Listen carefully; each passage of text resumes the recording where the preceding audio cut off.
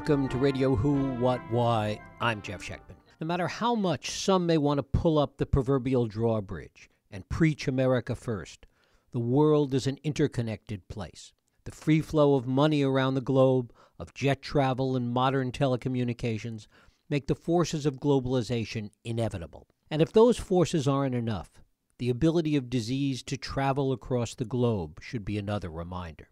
The fear that permeated all of us during the 2014 2015 Ebola outbreak in Africa is a grim and hopefully constant reminder. In fact, some argue that the greatest threat to the planet today is not just climate change or the threat of nuclear weapons, but the real threat of global pandemic. That's our subject this week as we talk to my guest, Reid Wilson. Reid Wilson is a national correspondent for The Hill in Washington.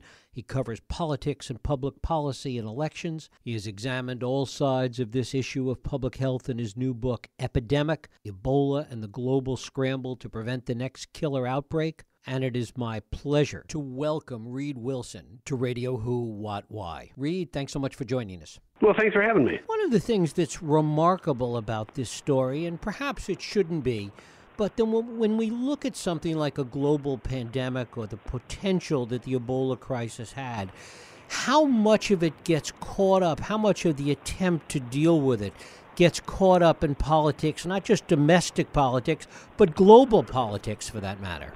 Yeah, a lot of it does, and I think we can see that uh, in evidence in this latest Ebola outbreak that's taking place right now in the Democratic Republic of the Congo. Uh, we've seen the World Health Organization race in there, but only after the invitation of the local health ministry, the health ministry of the DRC, uh, and that's really what happened in uh, West Africa. Uh, the the World Health Organization is this you know global body that we all think of as the the group that's going to come and save us, but in in fact, uh, it is sort of the patron of its client states. And in the early days of the outbreak, there were you know tourism ministers in Liberia, Sierra Leone, and Guinea, the places that we're talking about in terms of this outbreak, who were leery, uh, obviously, of having uh, you know some the, the presence of Ebola in their country well known. Uh, these are desperately poor countries that were uh, only just recovering from decades of civil war, and to have something like Ebola hit them uh, would diminish their standing. They thought in the the world uh, the, the world hierarchy, and uh, therefore they were a little leery about inviting the WHO in. So uh, you know the, the politics at play are they're global, they're national, and in a lot of cases they're local. Um, this virus hit a part of it started in a part of Guinea and then spread over to rural Liberia and Sierra Leone that are far away from uh, the capitals of each of these three countries.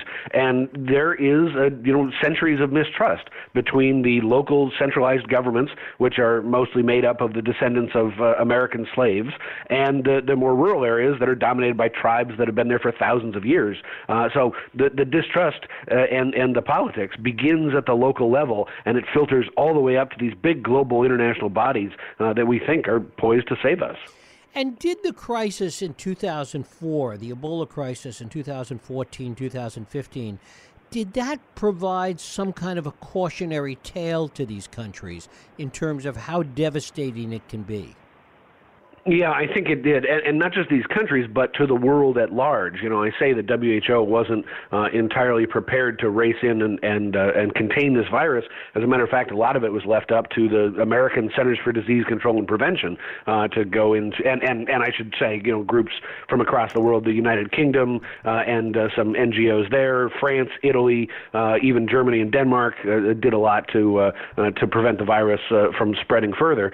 Uh, but it was it's certainly a a cautionary note because the big international systems that we thought were in place to fight back against a pandemic simply weren't there, and they weren't able to uh, to, to do their job. The WHO had no list of doctors who could volunteer uh, at the drop of a hat, or uh, contractors who could uh, fly in, you know, pallets of body bags and, and chlorine solution to, to spray everything and kill the virus. In the wake of the outbreak, WHO has undergone a remarkable round of, of self-flagellation, really, and, and reorganized itself uh, into a an organization that's much more able to respond to one of these outbreaks. And again, we're seeing that now in the, the Democratic Republic of the Congo. The Director General of the WHO was in the, the hot zone itself just days after the uh, this latest outbreak was confirmed, uh, essentially showing that hey, the WHO is now an organization that is able to respond to something like this. Uh, and of course, you know, the next big one that we're talking about, it's it's not really going to be Ebola. Um, Ebola is is difficult to spread between humans. You actually have to touch, you know, blood or guts to to get it uh, yourself. The next one is going to be something that spreads easily among humans and is uh, and and has a, a high lethality. It's probably going to be something like a flu. So, all right, the WHO is good at responding to a a virus like Ebola, but what about the next SARS? What about the next bird flu that comes out of some bird market in China or something like that. Will they be prepared to respond to something at that scale? That's something we don't know yet. And when we look at the totality of this, what role did other NGOs play in this crisis, and what role might they play going forward today? Groups like Doctors Without Borders. Yeah, Doctors Without Borders is the they're the sort of the real heroes of this story.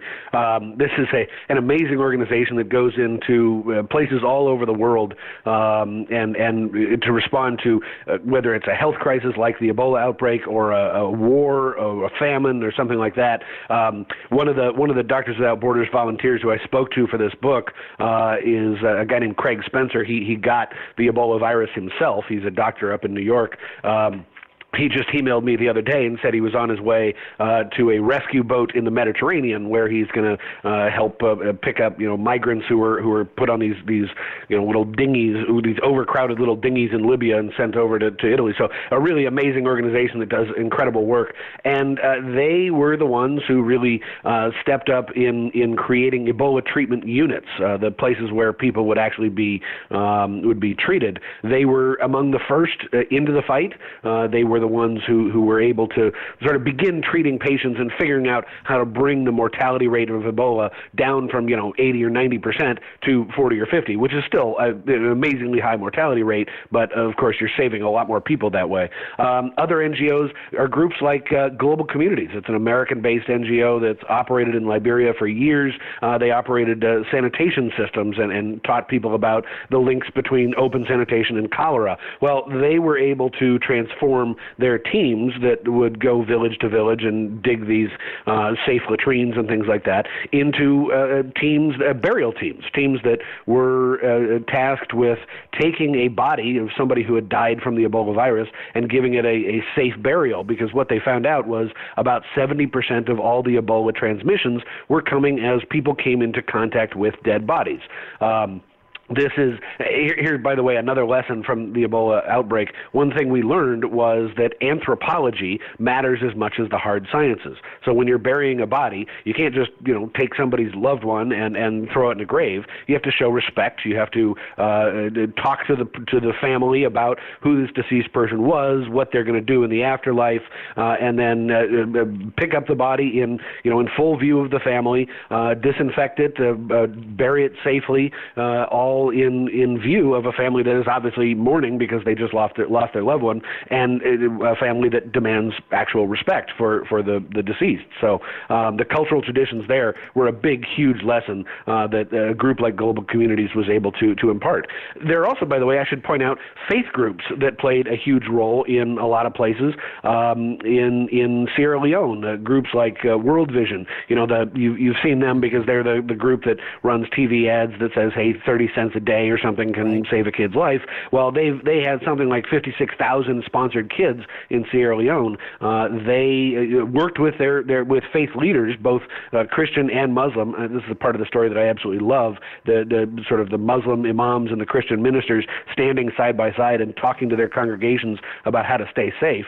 Uh, World Vision uh, ended up spreading that message and then becoming a, a system of burial teams. They're sending out a, a group of burial teams themselves um, and of those, you know, 56,000 kids that they have sponsored, not a single one in Sierra Leone got sick. Talk a little bit about the global mobilization that took place then and what we learned from it with respect to its spreading beyond the hot, the original hot zone. Right. The uh, global mobilization was, was pretty slow. Uh, the very first person who got the Ebola virus was a two year old boy named Emil in a tiny village in Meliandou, which is up in the mountains of rural Guinea. Uh, he got it in December of 2013. Uh, it, the World Health Organization didn't know that there was anything wrong, or the local health ministries too, didn't know anything was wrong until about late January when they went into these, this area and they thought they were looking at a cholera epidemic, a cholera outbreak uh, because they didn't know to look for Ebola. Ebola is not endemic to this part of Africa. It's endemic to the Congo River Basin, which is effectively 2,500 miles away. I mean, it's basically as far away as, as you are, you and I are right now. I'm in Washington D.C. Um, so they didn't know what they were looking at. Uh, a few months later, uh, Doctors Without Borders uh, got involved, and, and the WHO got some samples. They both tested those samples at about the same time in late March of 2014, and finally realized they had Ebola. The first teams uh, from uh, uh, Doctors Without Borders, WHO, started arriving in, in March. The first teams from the Centers for Disease Control and Prevention arrived in April, but the full scale response didn't really start until August when people realized realized that there was a, a real serious problem here. Uh, and the reason is because the West Africa is a much different place than the Congo River Basin. Uh, the Congo River Basin, you, it's it's difficult to travel. You've basically got to go up and down the river if you're even on the river. So if this breaks out in a remote village, it's going to infect the people in that village and probably nobody else.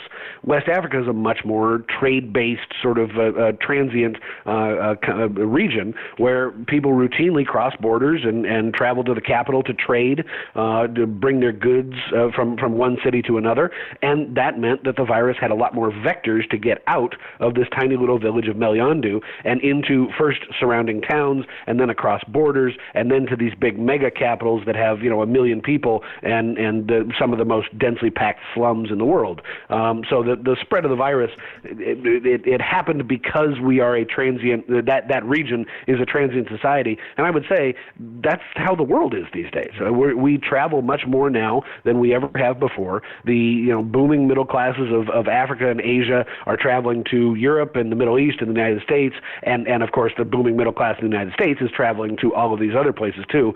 This is the big thing. I, I sorry for the tangent, but uh, every time somebody says, well, if we just put up a, a wall and, and and and ban travel, it's like no, you know Americans like to travel too, and you're not going to keep Americans overseas uh, if they if they come down with something like this. So the bottom line is we are becoming an increasingly interconnected world, and that is how any of these viruses can spread further.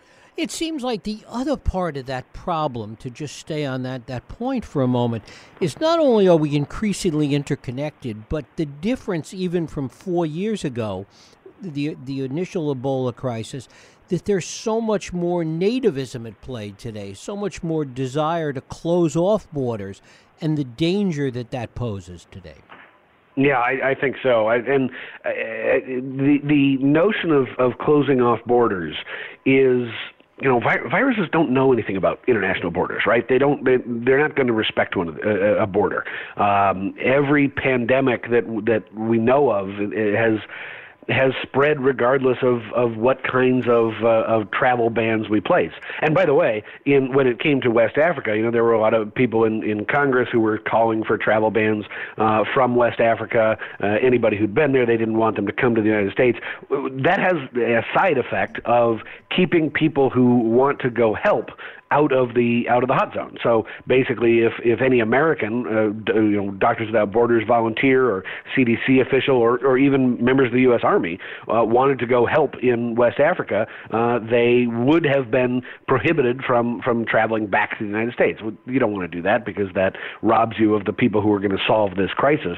Uh, as it happened, after the United States sent 3,000 American troops over there, not a single one of whom got sick. Uh, when they came back, they did spend 21 days in in quarantine. Uh, I talked to a few of them who did. They said it was the most boring 21 days of their entire lives. Talk a little bit about the role of the CDC and the U.S. military in this particular crisis.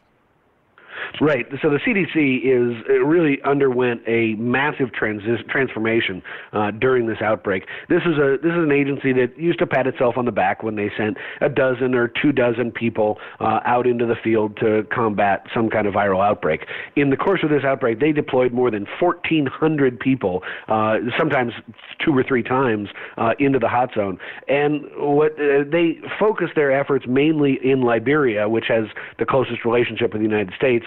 Sierra Leone has a very close relationship with the UK. Guinea has a very close relationship with France. So they sort of divided up the, the responsibility that way. Uh, but there were CDC teams doing literally everything in the outbreak. Uh, some people uh, organized the the response. They sort of coordinated the entire response at emergency operations centers that were funded by people like Paul Allen and the CDC Foundation. Uh, they uh, operated the response here at home. They prepared hospitals across the country to get ready for uh, it, for an Ebola patient to walk through the door. Before this uh, outbreak, there were only four facilities in the U.S. that could have treated somebody with Ebola in isolation. Today, there are more than 50, uh, one in every state, and uh, in some states, several. Um, in in West Africa, they handled contact tracing, which is uh, making sure that you you know if somebody comes down with Ebola, you track everybody that they've come into contact with because those are the people who are now most likely to get Ebola themselves. Um, and you know they even did um, things like border control. They uh, these are you know the borders between these three countries and, and other countries were drawn a, a century and a half ago by cartographers in, in Paris and London. Um, you know they, they don't make a lot of sense to the the tribes who actually live there. So the borders are very porous. Well, you got to track who's going back and forth so you can track the spread of the virus and therefore understand how uh, how much you sort of have to respond uh, in certain areas. So they even handled border control. What changed, if anything, once the virus made its way to New York? Well, uh, so the the virus um, first came to the United States in uh, October when it uh, when a, a man named Thomas Eric Duncan boarded a flight in Liberia and traveled to Dallas. That was really a, a wake up call uh, because it, it showed that that travel happens and that people uh, are coming across borders regardless of whether or not you can um, you, you, you implement some kind of flight ban or something like that. Um, a few weeks later, another well, let's see, a few months later, uh, another volunteer, a, a, doctor from Doctors Without Borders, uh, Craig Spencer, got back to, to New York, and and you know a, a common theme in the people who uh, served over there over in West Africa and then came back is depression because this was a, uh, a an outbreak where basically it was easier to count the survivors than it was to count those who died because there were just fewer survivors. Um, it was a, a terrifying moment to be actually on the ground in West Africa, and so when people came back, they they suffered through a lot of depression. Craig Spencer felt that same way, and then a few days later, he started to feel these aches and pains. He sort of woke up one morning and realized something wasn't right. He was exhausted. Um, he he was uh, sweating all over the place. His temperature was starting to rise, and, and that was a moment when Americans uh, realized that that this virus could get to get to the United States, and it was also a moment when another client of uh, sort of a, a, client of the U.S. government, if you will, uh, American hospitals started paying a lot of attention. This was before there were a ton of hospitals that could handle an isolation patient, uh, and so the hospital that he went to, he went to uh, Bellevue Hospital in New York, ended up sort of being the test case. And a lot of people were, a lot of hospitals were super nervous about treating an Ebola patient and the the uh, being seen as a place where somebody with Ebola might go, um, because the hospital in Dallas that treated Thomas Eric Duncan had lost so much business afterwards. People didn't want to go to a place that had treated an Ebola patient. So um, it was a, a moment when American hospitals were uh, deciding whether or not to to essentially build their capacity to treat an Ebola patient, and uh, it, and they Bellevue itself got the support of the Centers for Disease Control and Prevention, uh, which, by the way, the head at the time, Thomas Frieden, had been uh, the public health commissioner of New York City, so he knew the hospitals pretty well. Uh, and the, the CDC really tried, and the U.S. government really tried to show hospitals around the country, if you get an Ebola patient, we will have your back. We will give you all kinds of support, uh, and that mattered a lot. That sort of uh, incentivized a whole bunch of hospitals to uh, uh, get ready effectively and to um, uh, uh, prepare for the next Ebola crisis. So that that moment in New York was was an important one uh, because it helps prepare hospitals in every other state to get ready for the next pandemic if it were to come. Mm-hmm. If the event were to happen today, what might be different? Um, I, I, think well we're, we're seeing the event happening today, and I think a, a couple of things are different. Uh, in you know this this outbreak in West Africa hit a small. I'm sorry, this outbreak in, in the Democratic Republic of the Congo that's going on right now started in a small village. It moved to a, a village uh, near the Congo River, and then terrifyingly enough, it hit a city of about a million people uh, that's actually on the Congo River. Now that's scary because the, the river people can travel upriver to uh, one uh, foreign capital and downriver to three foreign capitals capitals, including Kinshasa, which is a city of, of like 12 million people. Um, so there's there's a little terrifying moment. The difference is uh, the international response happened almost immediately in this case. It took about four months in West Africa to identify the Ebola virus. Uh, in this case, it probably took about a month. They're still looking for the very first case, the, what we call the index case. Uh, but within days of the first uh, acknowledgement that the Ebola virus had broken out, uh, there were teams on the ground, and we now have a vaccine for the Ebola virus. And and so the, there have been about 1,200 people in these these three cities that have had contact with Ebola patients that have been given the vaccine. Frontline healthcare workers have been given the vaccine. You know, hopefully it, it ends up working. We won't actually know that it does until about mm, two months from now, when when the uh, the, the, the sort of incubation periods have have ended in in these three communities. Um, but uh, the the response has been amazingly fast. I talked to uh, the, this man named Pierre Rollin. He's the CDC's like chief Ebola expert, uh, and he was he was getting on a plane the next day, you know, two days after uh, this declaration of an outbreak had, had taken place, uh, to go and to go experience what um, or to go see what was actually happening in in the DRC and to deploy themselves. Uh, the CDC maintains an office in Kinshasa. They have deployed up to the hot zone uh, themselves to to help with the with uh, uh, the, the response, and groups like Doctors Without Borders. Doctors Without Borders opened three Ebola treatment units in the space of about a week, which is really impressive in terms of speed. Uh, it, it takes a lot to open a facility like that, and uh, they now have, have sort of demonstrated that they're the first line responders who are able to open a place like that in just a blink of an eye. Of course, the other danger, and, and there's familiarity with Ebola at this point, is some other disease spreading that we're less familiar with at this point. Mm-hmm. Yeah, that's right. The World Health Organization every year puts together a list of uh, of diseases that need to be given research priority. Um, and it, so it starts with, you know, AIDS and Ebola and, and Lassa, hemorrhagic fever, and things like that. Um, but they have just recently added another one to the list that they're calling Disease X. And Disease X is the unknown. Uh, the uh, and it, it's the one that uh, that could spread. It, look, the most the, the thing that keeps doctors up or public health officials up at night is something that has the lethality of Ebola, the transmissibility, uh, and, and the and the prevalence of something like Zika. Uh, now, Zika is a virus that if if you or I get it, it's not going to do anything to us. It only basically affects uh, fetuses. Um, However, it is much more easily transmissible and, much more widely transmissible because the, the its carrier, these mosquitoes, uh, are basically everywhere. Blame climate change for that one. Um, the fact is that uh, if if you combine the the spread uh, spreadable disease like Zika and a lethal disease like Ebola, uh, and then add in human to human transmission, which is not something that that Zika can do. Uh, that's what keep, keeps doctors up at night, and that means it's probably a flu. The next big thing, you know, here here we are in 2018, 100 years after the Spanish flu killed something like 50 to 100 million people around the globe. And the Spanish flu had a mortality rate of about 2.5 percent.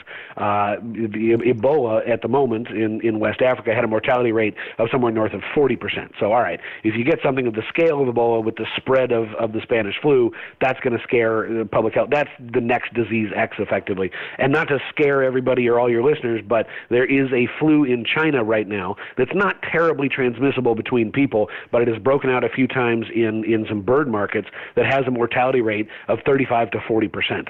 Uh, so that's that's pretty scary. That's what doctors are watching right now. Uh, and then again, it's disease X. This, if, if even if they get a handle on this particular flu, there might be another one that comes up. And practically speaking, what is the need for more funding globally to deal with all of this? So the the need is is severe, and and think about it like this: the, the global public health system, as, as we saw in West Africa, um, a virus can get on a plane, and it has gotten on a plane several times. Um, in both in previous outbreaks and in this outbreak. Uh, planes traveling to Europe, planes traveling to Nigeria, planes traveling to uh, the United States.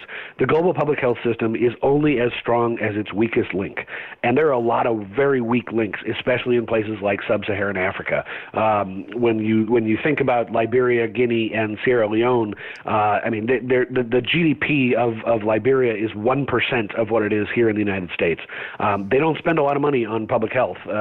Death is not uncommon in in West Africa, and that that is just sort of a fact of life, whether it's cholera or Lassa or Ebola or something like something else like that. Um, if because the world is becoming so interconnected, the the health systems in Liberia matter to the United States and matter to Europe and matter to any one of us who live in this globalized society. I mean, if you want to go, uh, you know, lock yourself away in a in a cabin in the mountains, great, good for you. But uh, that's not how how the rest of us live, and uh, and and therefore, without sort of bolstering these this public uh, spending, public health spending in places like Sierra Leone, Guinea, West Africa, and Congo, uh, then you know we're we're going to see more viruses spreading more widely across the rest of the country, or rest, the rest of the world. What about spending here in the U.S. at places like CDC, and also in terms of looking at the broader coordination of this through interagency actions in Washington? Yeah, and and that has happened a lot more. It, it's interesting. I, I, in talking to the, a lot of the people who responded, um, they all said that the, the humanitarian responders, the people who respond to you know uh, earthquakes or, or floods or tornadoes or things like that, and the and the virus responders, the, the CDC, had always kind of viewed each other with suspicion. Um, they they didn't get along. They didn't talk much. They didn't have to after this, the, the two groups, sort of uh, headlined by the CDC and USAID, the Agency for International Development, developed this really close working relationship. And they realized we don't have to build have this wall. This this is sort of an artificial wall between two kinds of response that uh, that doesn't make a lot of sense. So they ended up tearing down that wall, uh, operating a very close working relationship, and and now they're both sort of asking for uh, the the funding that they need to spend less here in the United States and more elsewhere, more around the rest of the world, so that they can engage in this disease surveillance, so that they can identify the next disease X that pops up. Um, one thing that's a little troubling right now is the, the, remember the Ebola supplemental bill, the bill that Congress passed uh, to deal to, to deal with this Ebola crisis.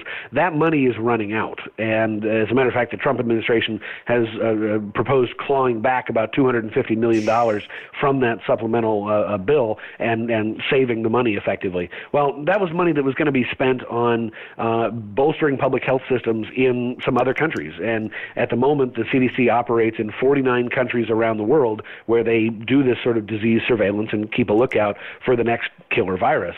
Uh, they, it, when this money runs out, they're going to have to cut back on 39 of those 49 countries. They'll only continue to operate in 10. So if we don't fund CDC and USAID to the, the appropriate levels, that makes the rest of the global public health system more tenuous and, and you know, not as able to respond to the next disease. And in turn, that makes all of us less safe. And where does Western Europe fit into this equation then? Well, they have they, especially the UK, uh, have done a well, just a, a, as much as the American CDC has. Um, the, uh, the the UK's version of it is called um, uh, U, UK FID, I think it is, uh, something like that. There's also the Wellcome Trust in the UK. Um, as I said, you know, the German government, the French government, the Italian government, the Danish government all sent uh, uh, aid, and I mean, in some cases, like the Danish government paid for um, uh, little like playing cards that talked about the danger of Ebola. These sort of, you know, it sounds like a tchotchke, but hey, that's the way you communicate with uh, people in rural villages who who don't have a radio to listen in or, or a television or something like that. Um, so it, all of these governments in Western Europe chipped in quite significantly, and again, they've done so in this outbreak in in West in, in the Democratic Republic of Congo that's going on right now. Um, the U.S. government has given about five million dollars uh, to, uh, to to respond to this virus. Um, Germany has given a, a, a mil- I think it was a million pounds the last time I, I've seen I saw it, or a million euros. Um, the UK government has chipped in. Uh, several different branches of the UK government have chipped in money. Um, so this is it, it, the the global response is not just Americans. It is also Europeans and uh, increasingly, by the way, the Chinese are getting into the game. Um, the Chinese have a version of the Centers for Disease Control and Prevention. They've learned a lot from from the U.S. and they're trying to be more sort of a, more of a presence on the global stage, not just in terms of you know taking over the South China Sea or or uh, raiding Africa of its of its uh, uh, you know rare minerals, but also of trying to do something on the humanitarian side. And they have a, a huge presence in Africa right now. That's right, they do uh, in in all parts of Africa, uh, from you know West Africa where they're mining for diamonds uh, to down in, in Namibia where they're mining for rare earth minerals and, and places like that. So um, it's pretty remarkable what the what how the Chinese have expanded. Uh, but in doing so, you know, the Obama administration really tried to get the Chinese to understand that you have to do you have to uh, sort of take on the responsibility of of being a, a global player, uh, and that means helping to respond in a case like this. And uh, in, and the Chinese did so, and in, in impressive fashion. Reid Wilson. The book is Epidemic Ebola, the Global Scramble to Prevent the Next Killer Outbreak. Reid, I thank you so much for spending time with us. Hey, thanks a lot. It was a real lot of fun. Thank you. And thank you for listening and for joining us here on Radio Who, What, Why. I hope you join us next week for another Radio Who, What, Why podcast. I'm Jeff Schechtman. If you like this podcast, please feel free to share and help others find it by rating and reviewing it on iTunes. You can also support this podcast and all the work we do by going to whowhatwhy.org forward slash donate.